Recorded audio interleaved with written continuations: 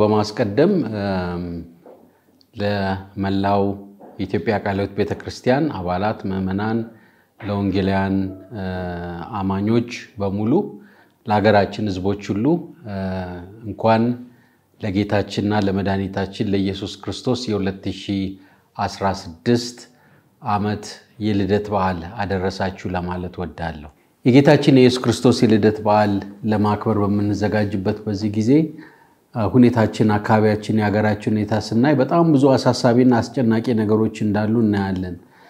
በሰላም ወጥቶ መግባት በአንዳንድ አካባቢዎች አስቸጋሪ እንደሆነ፣ የኑሮ ውድነት በጣም ብዙዎችን እያስጨነቀ እንደሆነ፣ የእርስ በርስ ግጭት፣ ሰላም መጥፋት በእኛ ሀገር ብቻ ሳይሆን በዓለም ዙሪያ ያሉ ሰዎች ሁሉ ይህን በዓል ሲያከብሩ በብዙ ጭንቀት የወደፊቱ ምን ይሆናል በሚል በሀሳብ እና በጭንቀት እንደሆነ ማየት እንችላለን። ይህ ዓመት ከጀመርን ጊዜ ጀምሮ እግዚአብሔር በብዙ ቸርነት ለዚህ አድርሶናል። ግን በዚህም ዓመት ብዙ challenge ኦች በቤተ ክርስቲያናችንም በዙሪያችንም በአካባቢያችንም እያየን ነው እና የሚያስጨንቅ አይነት ዘመን ብዙ ተስፋ የሚያስቆርጡ ነገሮች ያሉበት ዘመን ላይ ነው ያለነው። በእንዲህ አይነት ሁኔታ ውስጥ የልደት በዓልን ስናከብር ወደ አእምሮ የሚመጣው የትንቢተ ኢሳይያስ ምዕራፍ ዘጠኝ ላይ የተጻፈው ነው። እንደዚህ ይላል፣ ነገር ግን ተጨንቃ ለነበረች ጨለማ አይሆንም። በመጀመሪያው ዘመን የዛብሎንና የንፍታሌምን ምድር አቃለለ። በኋለኛው ዘመን ግን በዮርዳኖስ ማዶ በባህር መንገድ ያለውን የአሕዛብን ገሊላ ያከብራል። በጨለማ የሄደ ሕዝብ ብርሃን አየ፣ በሞት ጥላ አገርም ለኖሩ ብርሃን ወጣላቸው ይላል። ይሄ ትንቢት የተጻፈው በነቢዩ ኢሳይያስ አማካኝነት ለእስራኤል ሕዝብ ነበረ። የእስራኤል ሕዝብ በኃጢአታቸውና በበደላቸው ምክንያት በብዙ መከራና ችግር ውስጥ ያልፉ ነበረ። አሦራውያን መጥተው በሰሜን አካባቢ ገብተው የእስራኤልን ሕዝብ ወደ ምርኮ ግማሹን ወሰዱ። የራሳቸውን ሰው አፈለሱ። በእስራኤል ምድር እንዲሰፍር አደረጉ። የተቀላቀለ ሕዝብ ሆነ። በብዙ ውርደት፣ በብዙ መከራ በነበሩበት ጊዜ ነው ነቢዩ ይሄንን የጻፈው።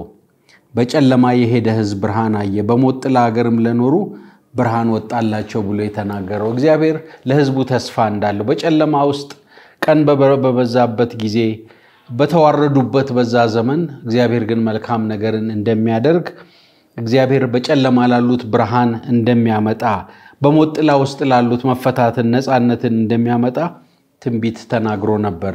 ይሄን ትንቢት የሚያያይዘው ከጌታችን ከኢየሱስ ክርስቶስ መወለድ ጋር ነው።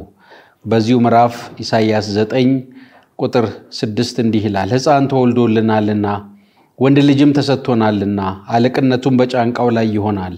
ስሙም ድንቅ መካር፣ ኃያል አምላክ፣ የዘላለም አባት፣ የሰላም አለቃ ተብሎ ይጠራል ብሎ ይናገራል።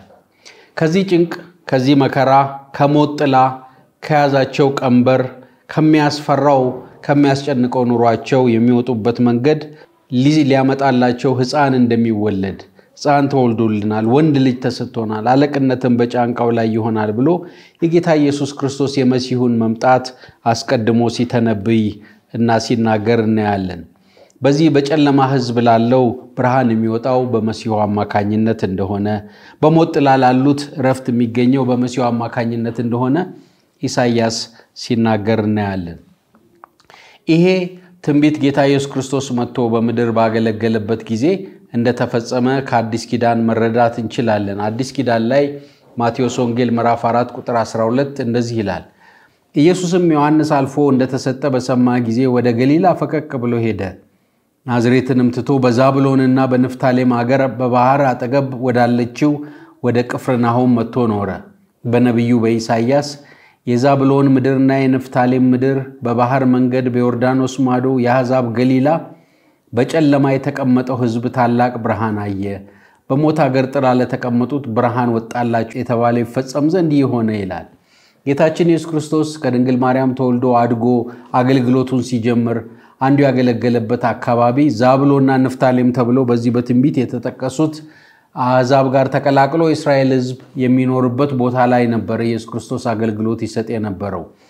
ያ ትንቢት የተፈጸመው በጨለማ የተቀመጠው ሕዝብ ታላቅ ብርሃን ያየው በሞት ጥላ አገርም ጥላ በሞት አገርም ጥላ ለተቀመጡት ብርሃን ወጣላቸው የተባለው ጌታችን ኢየሱስ ክርስቶስ መጥቶ በሐዘን ለነበሩት በባርነት ተጨቆኖ ለነበሩት በሰጠው አገልግሎት ነው። የጌታ ኢየሱስ ክርስቶስ አገልግሎት ምን ነበር ስንል ከዚያ ዘመን ጀምሮ ይላል ኢየሱስ መንግሥተ ሰማያት ቀርባለችና ንስሐ ግቡ እያለ ይሰብክ ነበር ይላል። እዚሁ ማቴዎስ 4 23 ላይ ኢየሱስም በምኩራቦቻቸው እያስተማረ የመንግሥትንም ወንጌል እየሰበከ በሕዝብም ያለውን ደዌና ሕመም ሁሉ እየፈወሰ በገሊላ ሁሉ ይዞር ነበረ። ዝናውም ወደ ሶርያ ሁሉ ወጣ።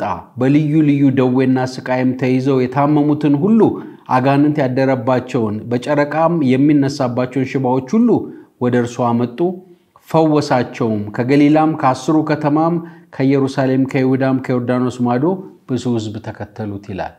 ጌታችን ኢየሱስ ክርስቶስ የእግዚአብሔር መንግሥት ቀርባለች፣ ንስሐ ግቡ፣ ከእግዚአብሔር ጋር ታረቁ።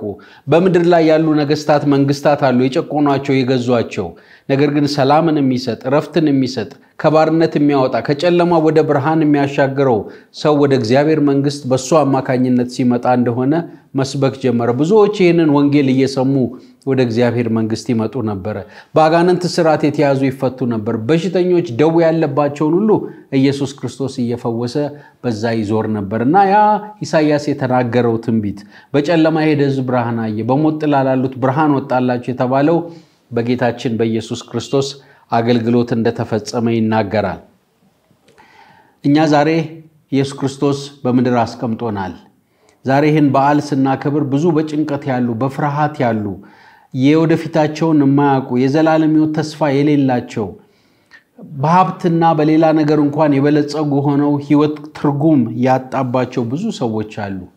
በጨለማ ላሉት ብርሃን የሆነውን ኢየሱስ ክርስቶስን እየሰበክን ብርሃን የሚያመጣውን ቀንበር የሚሰብረውን ኢየሱስ ክርስቶስን ለመናገር የተጠራን ሰዎች ነን። ስለዚህ ይሄ የተወለደው ሕፃን ኢየሱስ ክርስቶስ ዛሬ በእጅ ተይዞ በግርግም ያለ ሕፃን ሳይሆን ኢየሱስ ክርስቶስ ሞትን ድል አድርጎ የተነሳ በአብ ቀኝ ያለ ዛሬ በመንፈሱ አማካኝነት በቤተ ክርስቲያን የሚሰራ ስለሆነ ዛሬም የእግዚአብሔር መንግሥት ቀርባለች፣ ንስሐ ግቡ እያልን ሰዎችን ወደ ክርስቶስ የምናመጣበት ሰዎች ከጨለማ ወደ ብርሃን እንዲመጡ የምንጠራ ስለሆንን ይህም በዓል ስናከብር የክርስቶስን የማዳን ወንጌል አብረን እንድንሰብክ እንደሚያስፈልግ በዚህ ጊዜ ለማሳሰብ ፈልጋለሁ።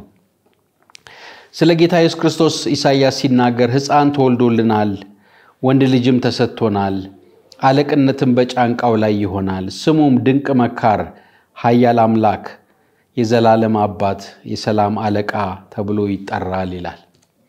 ጌታችን ኢየሱስ ክርስቶስ ከአለቃዎች ሁሉ በላይ አለቃ፣ ከነገስታት ሁሉ በላይ የሚሆን አለቅነትም በጫንቃው ላይ ይሆናል። እግዚአብሔር በዳዊት ዙፋን ከዳዊት ዘር የመጣው ኢየሱስ ክርስቶስ ንጉሥና የዘላለም ንግስና ይዞ የሚገዛ እንደሆነ ሲናገር እናያለን። እስራኤላውያን ብዙ ነገስታት ነበሯቸው፣ ብዙ መሪዎች ነበሯቸው።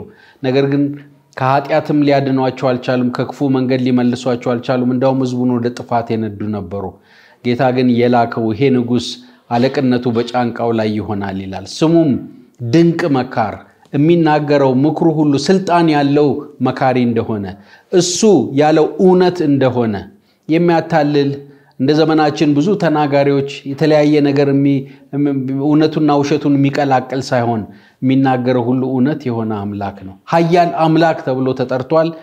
ከአብ ጋር ከመንፈስ ቅዱስ ጋር እኩል ስልጣን ያለው እግዚአብሔር ወልድ ኢየሱስ ክርስቶስ እንደሆነ ሁሉን ማድረግ የሚችል አምላክ እንደሆነ ዘላለም አባት ተብሏል። ዘላለማዊ አምላክ ጊዜ የማይገድበው እንደሆነ እንዲሁም ደግሞ ሰላምን የሚያመጣ ጌታ እንደሆነ በዚህ ክፍል ይናገራል እና ይህን ድንቅ ጌታ ልደት ነው የምናከብረው።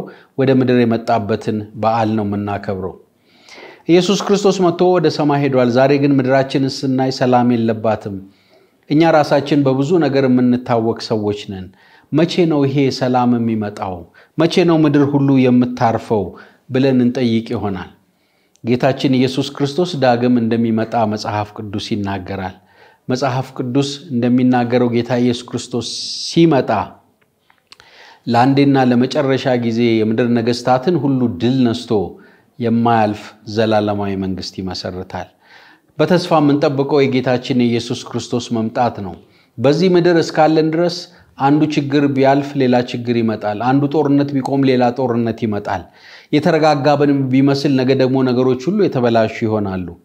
ኢየሱስ ክርስቶስ ግን አንድ ቀን ሲመጣ የሰማይና የምድር ጌታ ሁሉን ሲገዛና ሲቆጣጠር ያን ጊዜ የማያቋርጥ ዘላለማዊ ሰላም ይሰፍናል። ስለዚህ ዛሬ ሰዎች ይህንን በማሰብ የጌታን ምጽአት እየጠበቅን ጌታ ከመመለሱ በፊት የተሰጠንን የወንጌል ስራ እየሰራን የጌታችን የኢየሱስ ክርስቶስ ምጽአት እየጠበቅን በጽድቅ በቅድስና እግዚአብሔርን በመምሰል ለሱ በመገዛት የእግዚአብሔር መንግስት አባል አካል መሆናችንን በማሰብ የእሱን የመንግስት ወንጌል እየሰበክን እንድንጠብቀው በዚህ አጋጣሚ አደራ ለማለት ወዳለሁ። በኢትዮጵያ ቃለ ሕይወት ቤተ ክርስቲያን በዋናው ጽሕፈት ቤት በቦርዳችን በስራ አስፈጻሚ ስም እንኳን ለ2016 ዓመተ ምህረት የጌታችን የኢየሱስ ክርስቶስ የልደት በዓል አደረሳችሁ። በዓሉ ጌታን የምናከብርበት እሱን ክንድ የምናይበት እንዲሁም ደግሞ ከሌሎች ጋር በደስታ እርሱን የምናከብርበት እንዲሆን እመኛለሁ። እግዚአብሔር ይባርካችሁ።